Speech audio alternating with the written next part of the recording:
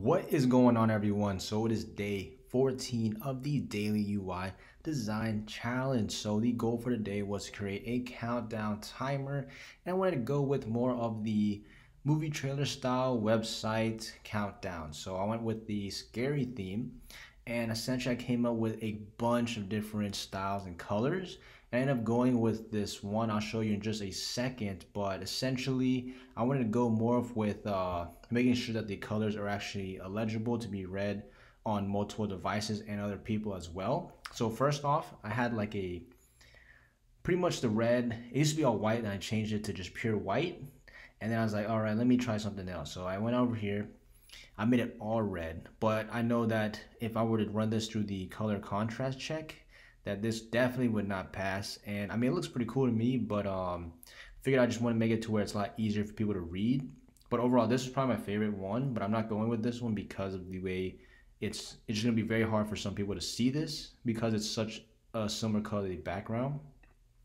Then here I kind of did with the white here, but then I ended up keeping the coming soon word, but I can tell I know that that's not gonna pass, so I just changed it back to ending off with this design right here. So let me go into Figma and show you guys what I made. All right, so now we are in Figma and this was probably as far as the basics, the background, the design wasn't too difficult. However, me trying to come up with different colors and styles took a while, but overall this was probably the easier, I'd say designs because I didn't have to really make anything from scratch.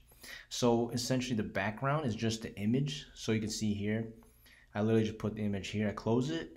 I did leave a linear uh, gradient on the background so that I can add a little more tweak. But if you were to let me show you this images, it's 100%, so the background is almost doesn't even matter.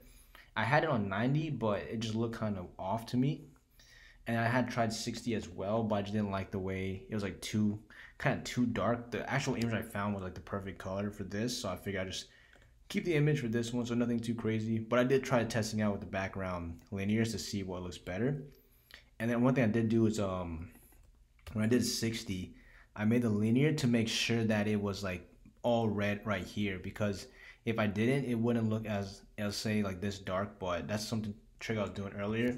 But let me go back to what I had originally. And then for the text, so you're probably wondering if this is your first time, by the way, on the channel, I'm basically documenting myself doing UX, UI design. So if you want to, you can subscribe down below. But um, if this is your first time learning, I would say this part right here isn't just normal text. Essentially what I added is over here on the uh, right side under effects. I put an inner shadow and I put the um, the blur was 6, Was 4, 25%. This is the color. And again, I mean, you can play around with these. You don't have to be exact the same. But this is just what I did for this exact design right here. And I did drop shadow. So when you're doing this, make sure you do the drop shadow first. And then do whatever I put here if you want to copy this. And then hit plus sign and then change it to inner shadow. Because if you do it the opposite way, it's gonna look a lot different than what I currently have. And if I zoom in, you can see it's like kind of like a glowing type color. And then coming soon is a, uh, it's literally just linear with uh, white, and then it's just uh, white, but the uh, put on 69. So like you can drag and drop here, but it's not like fully 100%. So it kind of has like a grayish effect to it, grayish white, and then also like the um, Kind of like it's a little red because it's coming through from the background, but yeah, it has like a little grayish white there. Then coming to the countdown, it's just a, uh, I put originally the number text right here, and then I wrote the text underneath it, grouped that together, and then uh, grouped these all four together. And then this is simply the same concept where I had the drop shadow here. I originally had inner shadow, so let me show you what happens when I click this, because I took it off, because um, so if you click this, it looks like that.